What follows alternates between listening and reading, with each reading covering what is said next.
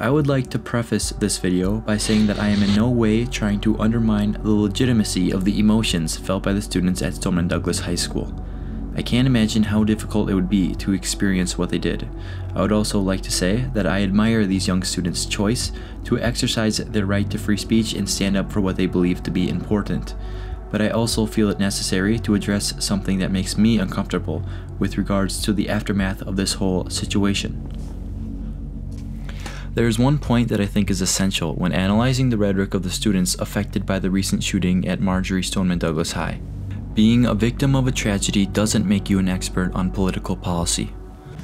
I understand that this is an unpopular opinion, and most people know this, but those whose views align with that of the students don't care, and here is why.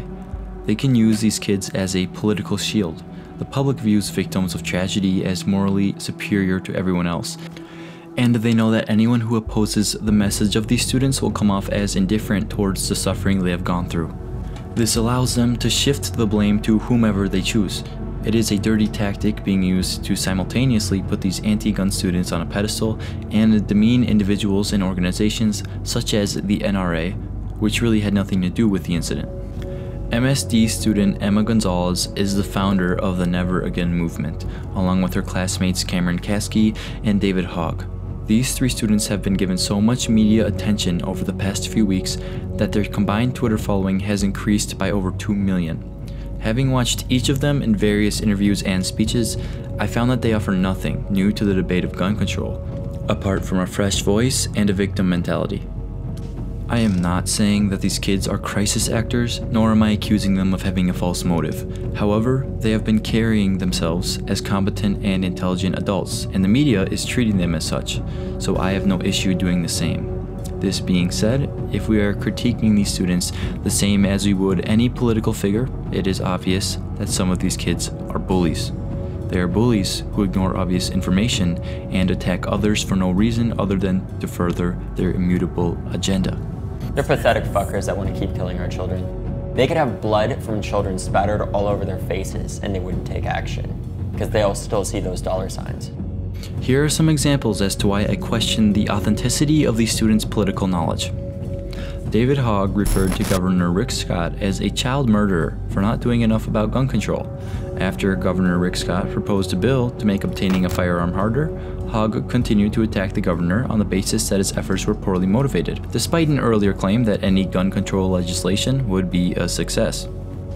He defended the officers who refused to engage the shooter, but at the same time stated that the failure on part of law enforcement is the fault of elected officials. He called anyone who questioned the official narrative disgusting. He said that politicians don't care about children's lives.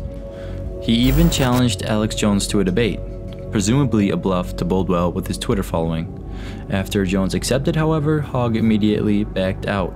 He also bragged about hanging up the phone on a call from the White House, which is interesting because one might think that this intelligent student would use such a rare opportunity to learn about the president's plan for proposing gun legislation or increasing school safety.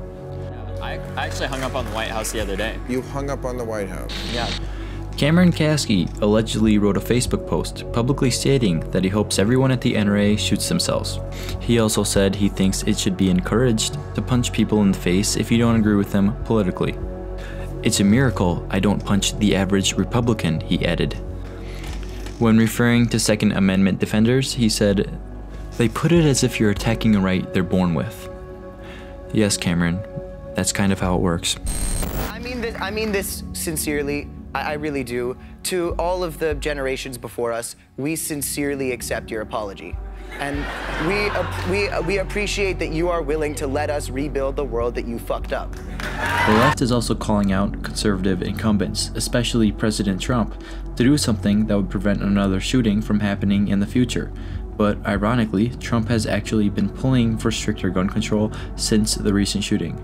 Nicole Russell put it best when she wrote that holding the NRA responsible for crime in which the shooter has told people he was going to kill students, where law enforcement had been called to his home more than 30 times, and the FBI was at least aware of, seems disingenuous at best and irresponsible at worst. This shows how little attention these March for Our Lives advocates have been paying to the facts that have arisen since the incident. They seem adamant that stricter gun legislation would have prevented the shooting from occurring. But haven't so much as acknowledged the following information. At least three armed deputies waited outside while 17 students were killed in the building. Sheriff Scott Israel said in a recent interview, quote, they should have gone in and addressed the killer. The school shooter had been reported to and visited by the police at least 19 times. The FBI was aware that the shooter made claims he wished to be a professional school shooter. The shooter had pulled the gun on and threatened his mother shortly before she died. A caller had tipped the FBI that the killer was going to shoot up the school prior to it actually happening. And the FBI and local police admitted fault in missing red flags that could have easily prevented the shooting from happening altogether. Based on these facts, I think it's ridiculously disingenuous and childish to put the blame on political incumbents and the NRA, which is exactly what these students are doing. As mentioned earlier, Hogg went so far as to defend the actions of a police officer that failed to engage the shooter as he killed 17 of his classmates. Now arises another question. Where are the student victims on the other side of the spectrum? They're out there on the same platform as these other students and actually offering sensible solutions to the divisive issue of gun control that no one seems to want to entertain. These kids are the victims of the same tragedy as the other ones, so why aren't their efforts met with the same praise?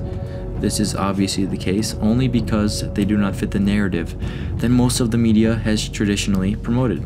So if you're on Twitter, make sure to check out MSD survivors Thomas Holgate and Kyle Kashuv as they present rational solutions to an incredibly controversial problem.